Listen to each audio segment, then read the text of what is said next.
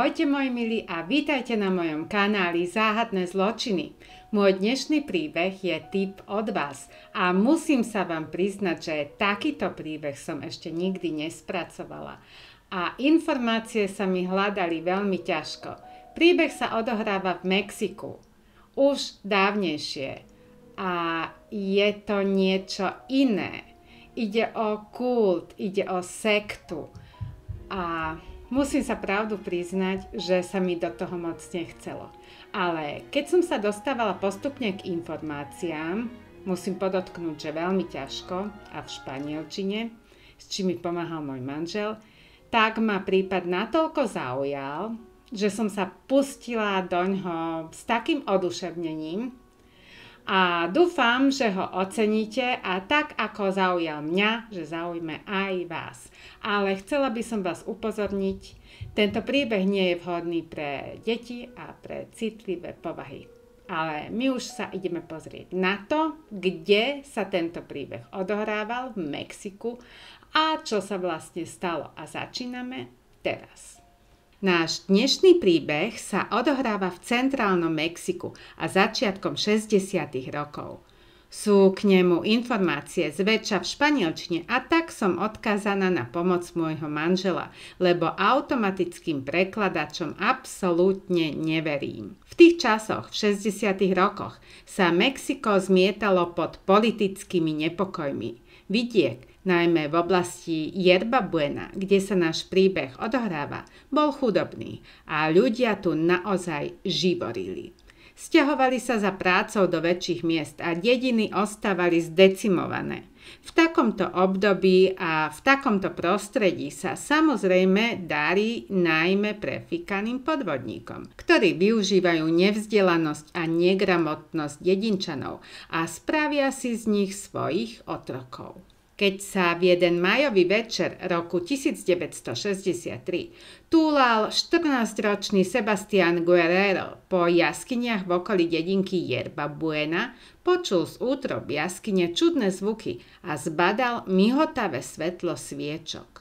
Podišiel bližšie a cez otvor medzi skalami zbadal skupinu ľudí, ako vykonávajú obetu.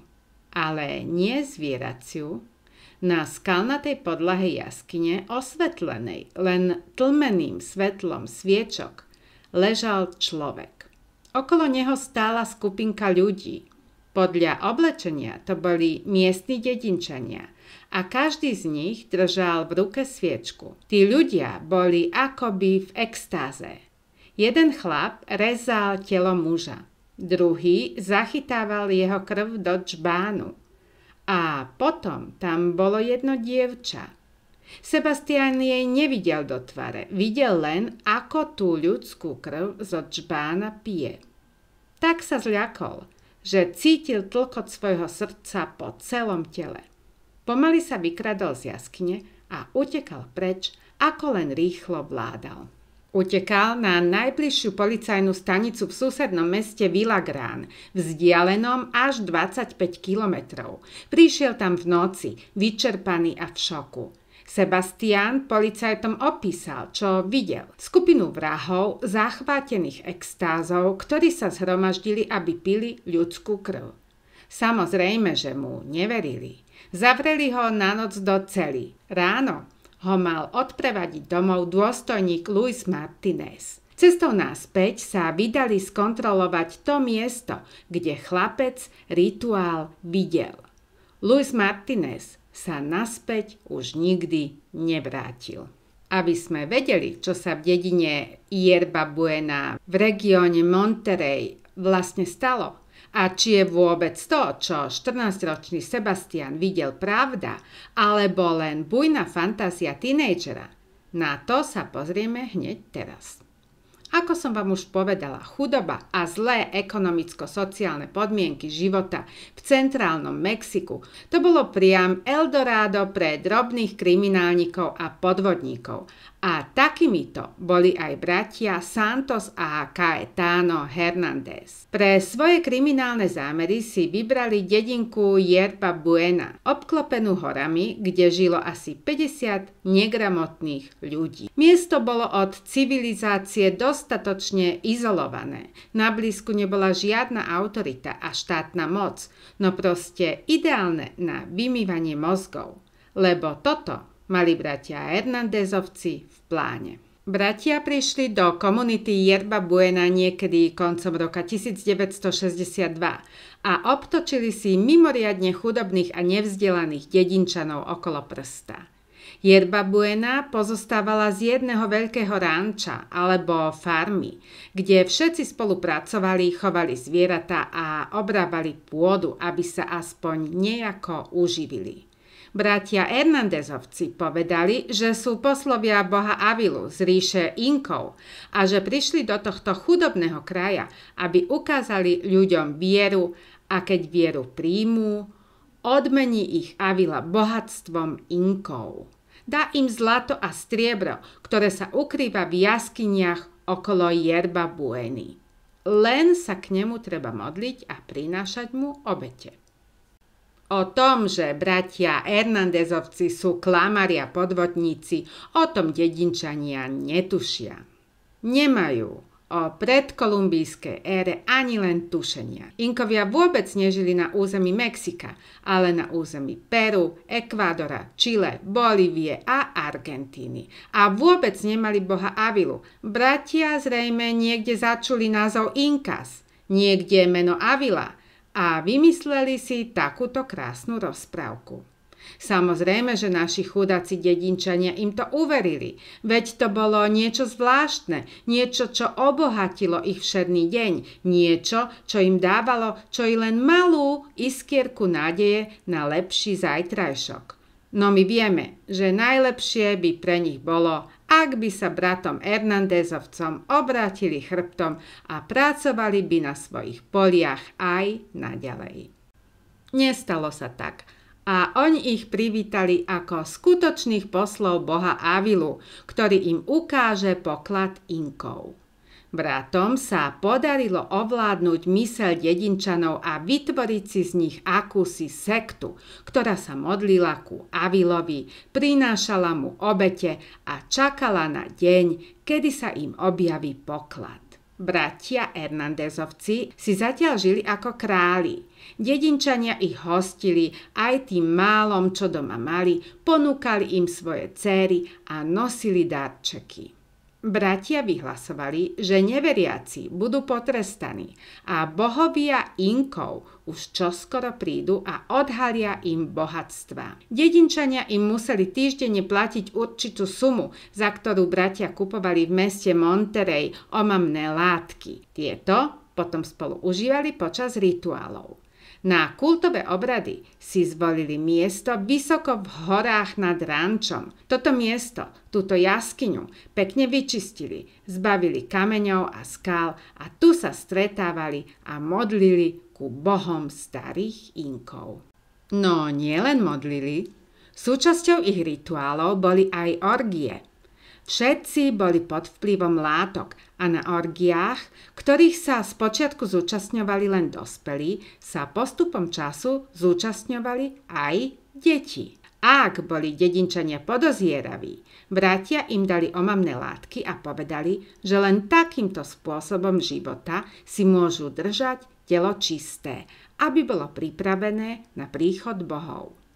O pár týždňov sa začali dedinčania stávať pomaly skeptickými. Stále im prinášali obete a hostili bratov, počúvali ich na slovo a podriadovali sa im, no nevideli ešte žiadne znamenie, ktoré by im bohovia poslali, o bohatstve ani nehovoriac. A tu dostali bratia jeden geniálny plán, ktorý ich podvodné konanie posunul o level vyššie. Aby nestratili prestížne postavenie a rešpekt, ktoré si v komunite vybudovali, rozhodli sa zájsť do mesta a nájsť si veľkokňažku, ktorá by pristúpila na ich hru. Zúčastňovala by sa bohoslúžieb, alebo lepšie povedané orgií, a zvýšila tak dôveryhodnosť podvodníkov. V meste Monterey natrafili na Magdalénu Solis, ktorá sa živila na ulici predávaním svojho tela a jej manažerom bol jej brat Eleazar.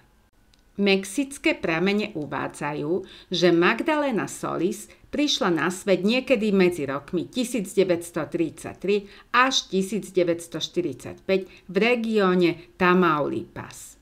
Svoje telo predávala od útleho veku a na obchody dohliadal jej brat, s ktorým mala vzťah tiež.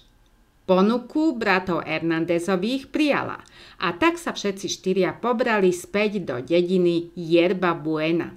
Prišli tam tajne a ukryli Magdalénu do jednej z jaskyň. Potom zišli do dediny a povedali dedinčanom, že bohovia im dali znamenie, že na zem zostúpila bohyňa. Pobrali sa teda všetci spolu do jaskyne, ktorá bola plná dymu z kadidla a tam ku ním zo skalnatého oltáru zostúpila bohyňa Kuatlik, alias Magdalena Solis. Reinkarnovaná astécka bohyňa Kvatlik urobila na dedinčanov absolútny dojem. Bola oblečená celá v bielom odeve a vedľa nej stál muž, ktorého predstavila ako svojho kňaza. Ubezpečila dedinčanov, že ju zoslal boh Inkov a veci sa teraz budú uberať čoraz k lepšiemu. Žena hovorila milým a pokojným hlasom a hneď ich všetkých okúzlila. Teraz boli presvedčení, že bohovia to s nimi myslia dobre a horlivo sa zúčastňovali kultových rituálov. Ten kňaz po Magdaleninom boku bol samozrejme jej brat. Bohyňa Quatlik je v asteckej mytológii matka bostiev, ktorá porodila mesiac, hviezdy a boha slnka a bojny – Takzvaná hadia žena je taktiež patronka žien, ktoré zomierajú pri pôrode. Kuatlik je znázornená ako žena, ktorá má na sebe sukňu zo zvíjajúcich sa hadov a náhrdelník vyrobený z ľudských srdc, rúk a lebiek. Jej nohy a ruky sú zdobené pazúrmi a jej prsia sú zobrazené ako vysiace, ochabnuté od 400 tehotenstiev. Jej tvár tvoria dva hady, ktoré predstavujú krv striekajúcu z jej krku po sťatí hlavy. Je to bohyňa, ktorá je väčšine smedná po ľudskej krvi. Vybrali si dobrú bohyňu však. A len teraz začnú skutočné orgie, lebo to, čo robili bratia Hernandezovci, bolo len slabým odvarom toho, čo začne po svojej reinkarnácii stvárať Magdaléna Solis. Len pár dní po príchode do komunity Magdalena skutočne uverí tomu, že ona je bohyňa Kvatlík. Začne obcovať s každým a v každú hodinu. Veľmi sa jej páči moc, ktorú nad dedinčanmi má. Stačí jej povedať len slovo a všetci skáču tak, ako si ona želá. Takéto niečo ešte nikdy nezažila a preto si to aj patrične vychutnáva. Postupne preberie úlohu vodkyne sekty, čo si bratia Hernandezovci v opojení z omamných látok ani len nevšimli. Magdalenin brat Eleazar je so svojou situáciou nadmieru spokojný. Nie len, že má dennodenne a zadarmo prístup k látkam, ale má aj každý deň mladé dievča, ktoré mu je povoli. Magdalena sa stala vládkyňou kultu a orgie sa konali každý deň. Uprednostňovala mladé dievčata a chlapcov. Po čase sa dennodenné zneužívanie znepáčilo dvom mladým ľuďom a tí sa rozhodli, že z komunity odídu. Neviem, ako sa to Magdalena dozvedela. V niektorých prameňoch sa uvádza, že dvaja mladí o tom medzi sebou hovorili, niekto ich náhodou vypočul a utekal s tou informáciou za bodkyňou sekty. Magdaléna zvolala zhromaždenie svojich prívržencov, kde im navrhla, aby boli zradcovia potrestaní a obetovaní Bohom. V reakcii na to členovia sekty zradcov zlinčovali a Magdaléna prikázala zachytiť ich krv do čbánov. Túto potom zmiešali s kuracou krvou a halucinogénmi a takto pripravený nápoj pila najprv Magdaléna ako veľkokňažka krvi, potom jej brat Eleazár ako hlavný kňaz, nasledovali bratia Hernandezovci a napokon tí členovia sekty, ktorí boli Magdalénou vybraní, tí, ktorým túto vynimočnú poctu udelila. Tí privilegovaní. Magdaléna a jej traja pomocníci teraz vidia, že si s dedinčanmi môžu robiť, čo len chcú. Veď tí dvaja úbohí mladí ľudia, ktorých najprv zlinčovali a potom pili ich krv, boli ich deti, boli ich príbuzní, boli ich priatelia. Ale stačilo, aby Magdaléna vyslovila rozkaz zabiť a nikto z nich sa jej slovu nepostavil lebo jej slovo bolo sveté. Slovo bohyne Kvatlik. Týmito prvými dvoma ľudskými obetami začína obdobie šiestich týždňov, počas ktorého sa rituály budú stupňovať a Magdaléna sa nazve veľkokňažkou krvi. V nasledujúcich dňoch a týždňoch sa intenzita rituálov a orgí stupňuje. Ako ľudské obete sú Magdalénou vybratí tí, ktorí o nej pochybujú, alebo tí, čo sa už nechcú rituálov plných násilia zúčastňovať. Pri obetných rituáloch všetci členovia sekty brutálne bijú, pália, režú a mrzačia svoju obeť, ktorá bola vždy tým nesúhlasným členom sekty. Predtým, ako ju nechajú vykrvácať na smrť. Pri týchto orgiách sú ľudia akoby v extáze a oslavujú svoju bohyňu Kvatlik, ktorá ku svojmu životu potrebuje ľudskú krv. A bohovia k nej prehovorili a prikázali, aby jedla aj ľudské srdcia. Takže obetiam sa nielenže odoberie do džbanov krv, ale sa im vyreže z tela aj srdce, ktoré potom veľkokňažka konzumuje.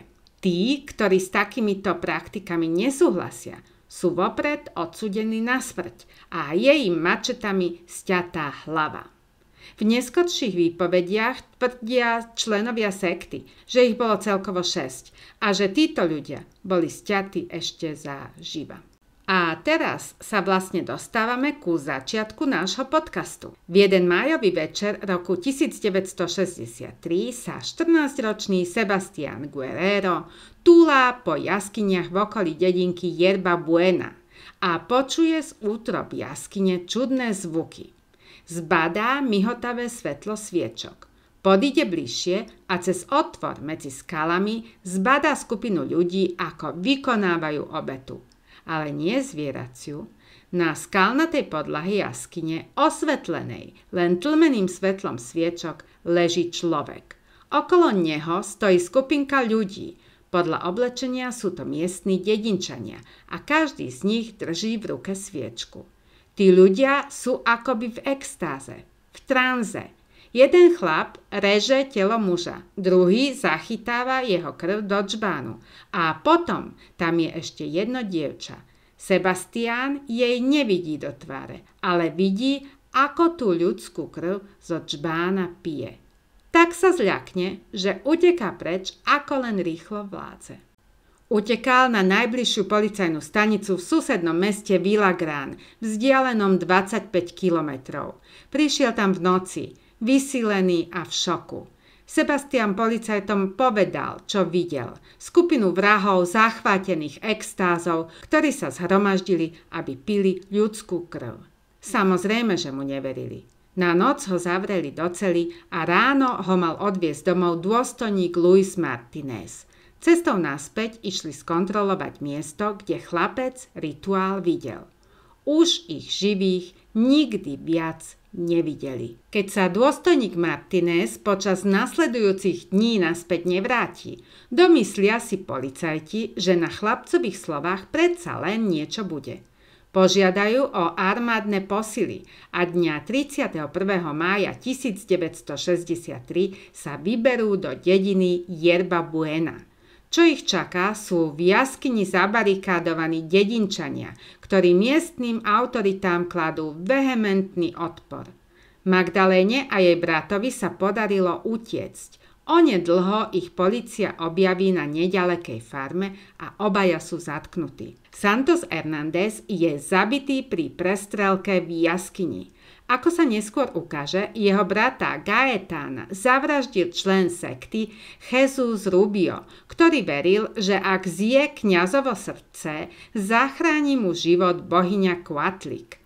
Mnohí členovia sekty prídu o život pri prestrelke v jaskyni. Pri následnom vyšetrovaní a prehľadávaní Yerba Bueny sa nájdu rozkuskované mŕtvoly Sebastiana Guerrera a Luisa Martineza. Je to v blízkosti toho domu, kde bývala Magdalena so svojim bratom. Luisovi Martinezovi bolo z tela vytrhnuté srdce. Pri neskorších prehliadkách našli vyšetrovatelia zmrzačené tela ďalších šiestich ľudí. Boli ukryté v jaskyniach okolitých hôr. Magdaléna a aj Eleazar Solis boli odsúdení za vraždy Sebastiana Guerrera a Luisa Martineza na trest odňatia slobody v trvaní 50 rokov. Ich vina v iných vraždách nemohla byť dokázaná, pretože nikto zo sekty nechcel proti svojej veľkokňažke svedčiť. Predpokladá sa, že v priebehu šiestich týždňov zavraždili minimálne 8 až 15 ľudí. Tí členovia sekty, ktorí masaker prežili, boli obžalovaní a uznaní vinnými z masovej vraždy šiestich ľudí. Pri výmere trestu sudca zobral do úvahy poľahčujúce okolnosti a tými bola ich nevzdelanosť, negramotnosť a mimoriadna bieda, v ktorej žili. Boli odsudení na trest odňatia slobody v trvaní 30 rokov. O niekoľko rokov neskôr začali niektorí z bývalých členov poskytovať o sekte rozhovory a tak na verejnosť prenikli správy o brutálnych a neľudských činoch samozvanej veľkokňažky krvi. Mexické internetové stránky uvádzajú, že Magdalena Solis zomrela vo väzení, ale nie je známy ani rok a ani príčina jej úmrtia.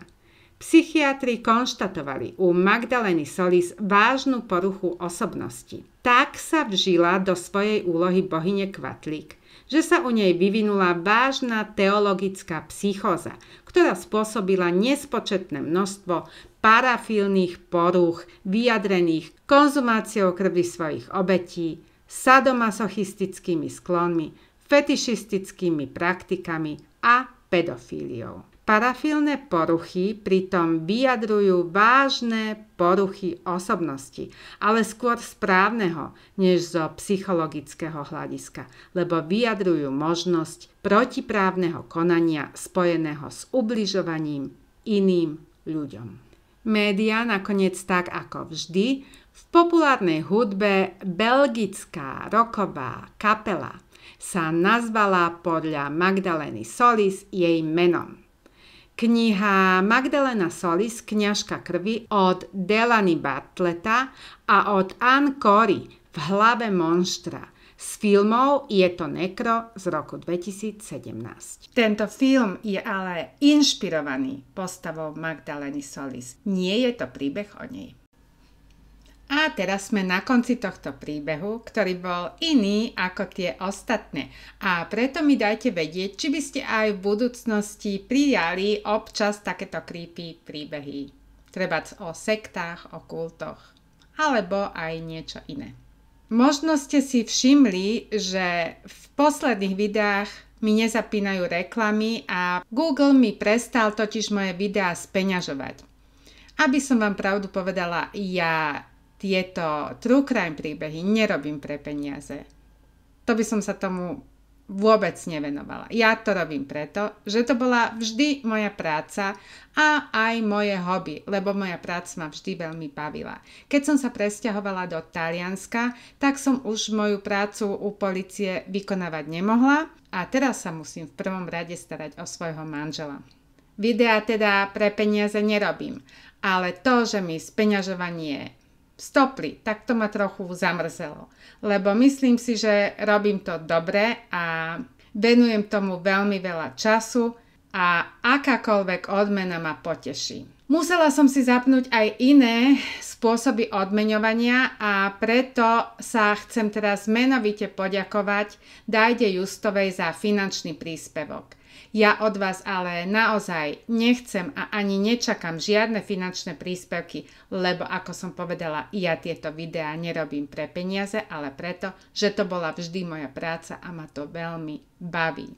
Takže ja vám veľmi pekne ďakujem za podporu za to, že ma počúvate, za to, že si ma vždy zapnete, za to, že ma toľkými slovami chváli a podpory vždy podnietíte k tomu, aby som bola ešte lepšia, aby som tie príbehy spracovala ešte dokonalejšie. A preto mi píšte, čo si o tomto príbehu myslíte, píšte mi, lajkujte, komentujte a odoberajte. Ja som veľmi rada, že ste mi venovali pozornosť, že ste ma počúvali a teším sa na vás a na ďalšie podcasty a zatiaľ sa mi majte pekne. Ahojte.